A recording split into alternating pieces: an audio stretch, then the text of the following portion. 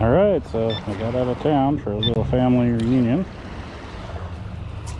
which is now ended. So I'm going to try this uh, city beach here. It's along the river in Idaho, so not even in my same state. Already got a nickel that I didn't show, but here's another nickel. See what we can get.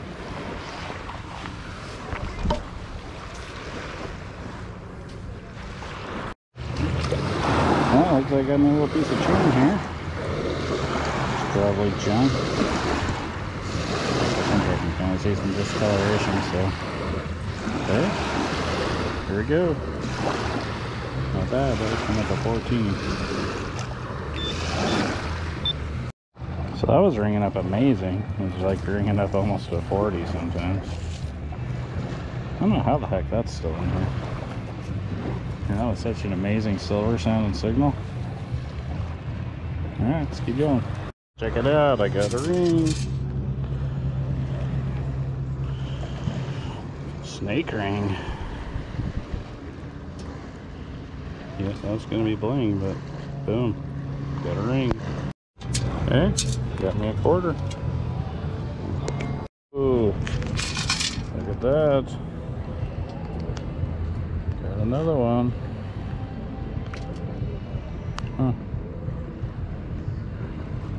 To think of that one. That looks like it could possibly be silver. Actually.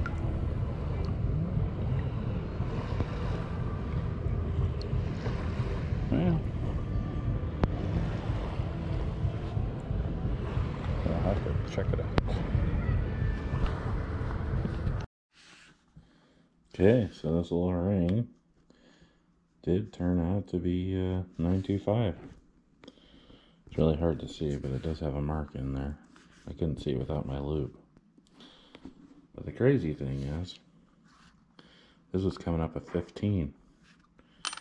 So, because it's so small, and then there's little holes in it everywhere, it'll change your reading quite a bit. So, anyways, here's a piece of silver that if you weren't digging pull tabs, you would never got. Well, I got a little time left. I got a quarter. There's some guy that hits this really hard, and I'm so impressed because hardly any sounds in here. So I'm always impressed when I can come out here and get almost anything. So pretty happy with two rings, but we'll see. Got a little time left.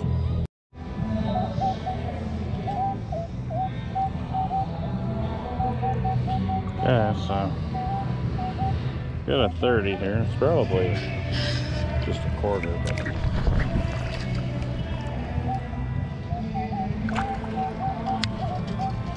I'll like a silver ring.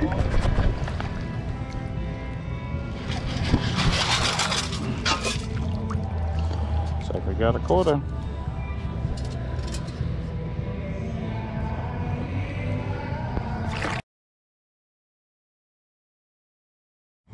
Hey, there's kind of a cool old earring, old earring. Yeah. That's coming up to 16. Right, I might have something good here.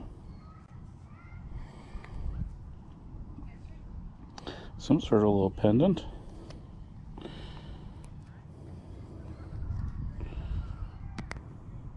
If I get lucky, maybe this will be precious metals.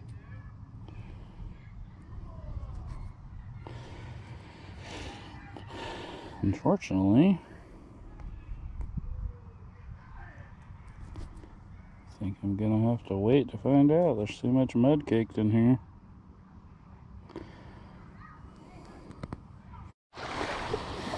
Well, I got it washed up.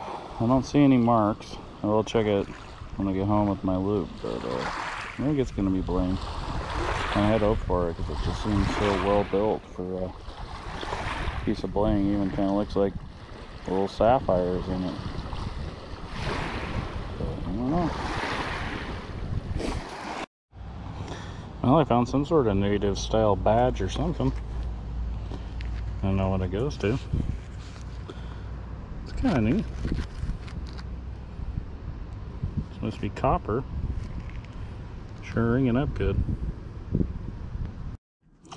Well, I'm hitting a different volleyball court. Got me a little stud. There's a lot of studs in these volleyball courts, that's for sure. Look at that. Got another stud. This one looks like a little leaf or this could be a feather. Hard to say. Cool, let's keep going. Wow, I can hardly believe this. Look, right on the edge the volleyball court. And I think I got a silver quarter. Yeah, look at that. that was nobody ever grabbed that? Including me. 1942. Boom.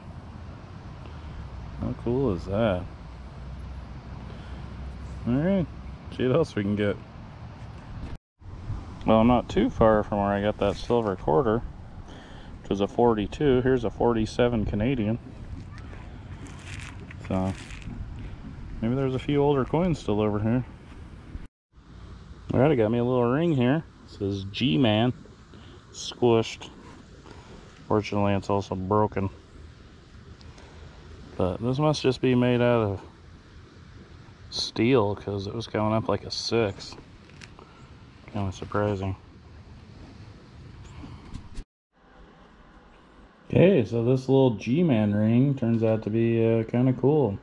So I found it online, and they're saying it's from the 1930s, and it's based on the FBI agent who killed uh, John Dillinger and Pretty Boy Floyd named Melvin Purvis.